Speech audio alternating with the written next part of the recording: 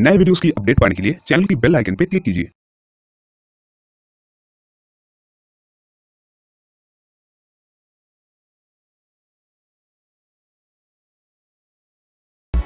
अगर आपने चैनल को सब्सक्राइब नहीं किया है तो यहाँ पे सब्सक्राइब बटन को दबा के आप सब्सक्राइब कर लो और घंटे के आइकॉन को दबाना मत भूलिए, ताकि चैनल के सब वीडियो के अपडेट सबसे पहले मिले आपको। हेलो दोस्तों फिर से आप सभी का स्वागत है टेक गुरु चैनल पर और मैं हूँ आपका दोस्त टेक गुरु। नमस्कार आदाब सत श्रीकाल दोस्तों होप आप सब लोग अच्छे होंगे घर पे होंगे और सेफ़ होंगे। आ, दोस्तों आज का टाइटल और थंबनेल देख के आपको समझ आ गया होगा कि आज जो है हम लोग किस टॉपिक के ऊपर बात करने वाले हैं। बहुत सिंपल सा टॉपिक है। काफ़ी लोगों को ना ये डाउट होता है कि यार मुझे दुबई में जॉब मिलेगा या नहीं मिलेगा। ये बहुत कॉमन क्वेश्चन है। मैंने काफ़ी लोगों को ऐसा देखा है जिन लोगों के पास पाँच पाँच, दस दस साल का भी एक्सपीरियंस होता है, मगर इनका कॉन्फिडेंस लेवल बहुत कम होती है। उनके दिमाग में बस ये ये होता है कि मुझे वहाँ पे जॉब मिलेगा या नहीं मिलेगा, ठीक है? तो आज के इस वीडियो में हम लोग यही बात करने वाले हैं कि आपको यहाँ पे जॉब मिलेगा या नहीं मिलेगा। अगर नहीं मिलेगा तो क्यों नहीं मिलेगा? और मिलेगा तो आपके पास कौन से कौन से पॉइंट्स होने ज़रूरी है। वीडियो मेरा आखिर तक देखा करे दोस्तों, क्योंकि मैं कोई स्क्रिप्ट बना के वीडियो नहीं बनाता हूँ। जैसे दिल में मेरी बातें आती है, उस तरीके से बनाता तो ऐसा होता है कभी कभी एक सेकंड दो सेकंड में आपका बहुत इंपॉर्टेंट पॉइंट जो है, वो छूट जा सकता है, ठीक है? तो इससे अच्छा आप पूरा वीडियो देखा करें। काफ़ी लोगों को क्या होता है दोस्तों? लैंग्वेज प्रॉब्लम होता है। काफ़ी लोगों को ये लगता है, शायद मुझे अरबी नहीं आती है तो मैं कैसे दुबई में काम कर सकता हूँ? मुझे ठीक तरीके से इंग्लिश नहीं आती है तो मैं यहाँ पे कैसे काम कर सकता हूँ?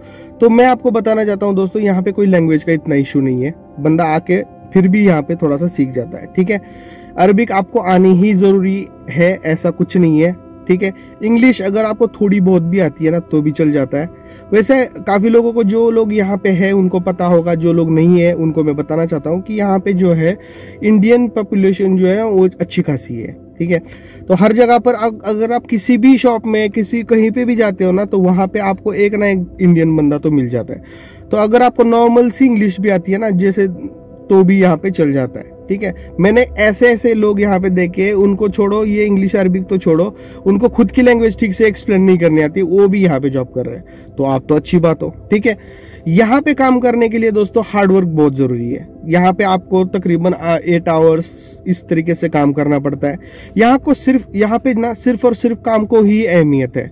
जैसे मैंने देखा है इंडिया में हम, हमें छुट्टियाँ बहुत होती है। जैसे मैं इंडिया में जब जॉब करता था, मुझे बहुत सारी छुट्टियाँ होती थी। प्राइवेट में था तब शायद मुझे हाँ सैटरडे संडे छुट्टी थी और बाद में भी कोई फेस्टिवल आता था तो मुझे छुट्टी मिलती थी। तो वो बात यहाँ पे नहीं है दोस्तों ठीक है? वहाँ यहाँ पे आपको फ्राइडे सैटरडे होंगी छुट्टी कंपनी के रूल्स के अनुसार। अगर कंपनी फ्राइडे दे रही है तो फ्राइडे मिलेगी कभी आ, बड़ी कंपनी है तो आपको यहाँ पे दो छुट्टियाँ भी मिल सकती है। तो यहाँ पे छुट्टियाँ कम काम ज़्यादा होता है। मतलब जिसको पैसे कमाने हैं जो हार्ड वर्किंग कर सकता है वो यहाँ पे टिक सकता है ठीक है? उसके बाद काफ़ी लोगों को ये क्वेश्चन होता है कि मुझे काम पता है या नहीं है? काफ़ी सारे अकाउंटेंट्स मैंने देखे, उनको ये पता ही नहीं है। उनको उनको सारा का पता है, काम का उनके। उनको पाँच पाँच दस दस साल का एक्सपीरियंस है, मगर उनके दिमाग में क्वेश्चन क्या होता है? मैं इंडिया में काम कर सकता हूँ, मुझे नहीं पता मैं दुबई में काम कर सकता हूँ या नहीं। तो मैं उनको बताना चाहता हूँ यहाँ पे कोई आपको अलग काम नहीं करना है। यहाँ यहाँ पे कोई आपको पे भी करना है। बस वहाँ पे आप टैक्स में कर रहे होंगे तो यहाँ पे आपको वैट में करना होता है। ठीक है? हर फ़ील्ड के लिए ये जो आ, रूल होता है वो लागू होता है। जैसे मैं देखा जाए तो मैं कौन हूँ? मैं एक वेब डेवलपर हूँ। ठीक है? जब मैं इंडिया में काम करता था दोस्तों मुझे यही लगता था शायद वहाँ पे कुछ अलग काम करते होंगे। अलग कोई टेक्नोलॉजी होगी अलग कोई सॉफ्टवेयर होगा। काफ़ी सारे अकाउंटेंट को ये लगता है कि मैं तो टैली में काम करता हूँ, मगर वहाँ जाकर मुझे नहीं पता वहाँ पे टैली होगी। अरे कौन सा भी सॉफ्टवेयर सीखने में कितना टाइम लगता है? अगर आपको रियल नॉलेज है रियल एक्सपीरियंस है, कोई भी सॉफ्टवेयर हो पाँच दस दिन में आप एक्सपर्ट हो जाते हो उस सॉफ्टवेयर में। लगातार काम करो, दिल लगा कर तो। सही है ना? तो उस तरीके से मुझे भी यही था कि वेब डेवलपमेंट का काम यहाँ पे अलग होता होगा। जैसे कि इंडिया में उस टाइम पे वेब डेवलपमेंट की सैलरी कितनी होती थी? एक बीस हज़ार, पच्चीस हज़ार, उससे भी कम, उससे भी कम मुझे मिलती थी। काफ़ी सारे वीडियोज़ में मैंने ये बोला है। जब मुझे यहाँ का ऑफ़र मिला तो मुझे पहला ऑफ़र मिला था फोर थाउज़ेंड का।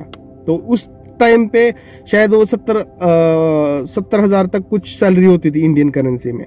तो मुझे भी यही लगता था, यार, मैं यहाँ पे वही काम कर रहा हूँ तो वहाँ पे कुछ अलग होगा। कुछ अलग सॉफ्टवेयर होंगे। कुछ मुझे अलग करना होगा।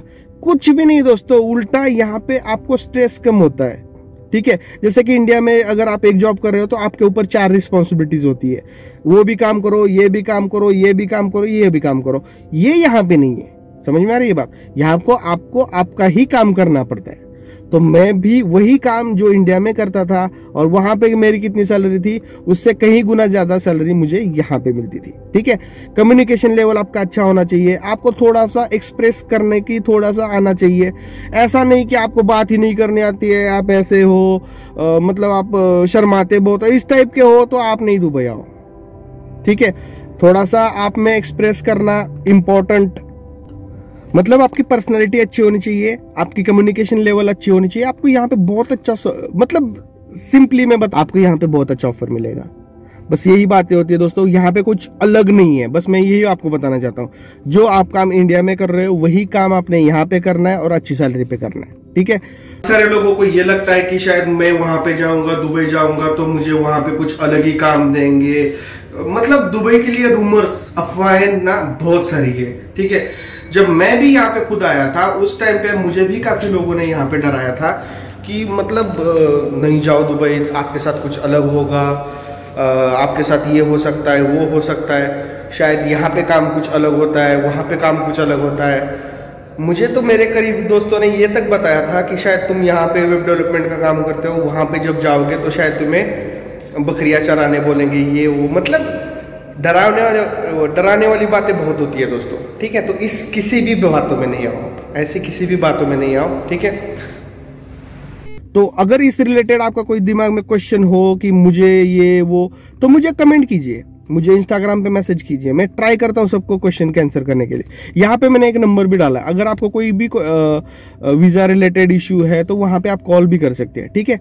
अगर आप मेरे चैनल पे नए हैं तो सब्सक्राइब ज़रूर कीजिए। मेरे सारे वीडियो देख लीजिए। बहुत इंपॉर्टेंट टॉपिक पे मैं वीडियो बनाता हूँ, ठीक है? शेयर ज़रूर कीजिए, क्योंकि आपके एक शेयर की वजह से काफ़ी सारे लोगों को हेल्प मिलती है दोस्तों, ठीक है?